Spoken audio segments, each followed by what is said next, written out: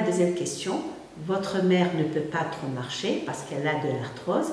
que doit-on lui conseiller Alors, il faut savoir que quand on est en poussée d'arthrose ou quand on est malade, il ne faut pas faire d'efforts. Mais en dehors de la poussée inflammatoire, il faudrait qu'elle remarche, qu'elle apprenne à remarcher parce que la sédentarité est un facteur qui donc favorise le surpoids et de ce fait le surpoids aggrave l'arthrose.